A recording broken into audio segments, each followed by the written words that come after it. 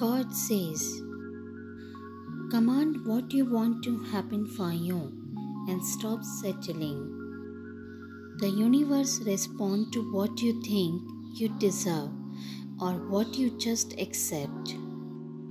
If you are consistently take the risk of completely declaring something greater over your life, then by all means it will show up.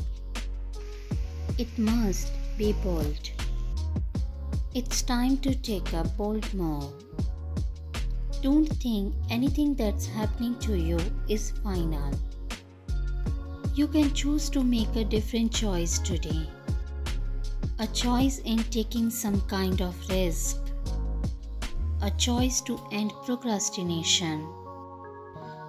A choice in believing in possibilities. A choice in new habits that support your wellness and vision. You can choose today, but you must be bold. You must not be afraid out of comfort. There is nothing to be scared of. Doing and moving forward produces great rewards. The universe will support you and your new changes. It's all up to you to decide and watch how miraculously things begin to work in your favor. If you have been receiving signs that this is it, it's time. Be bold in your choices and action to move forward.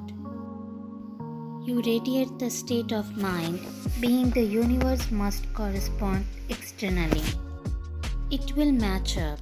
Let go of the details about how and when. Trust and believe more. No more settling and letting things just randomly happen. Be bold, take some risk.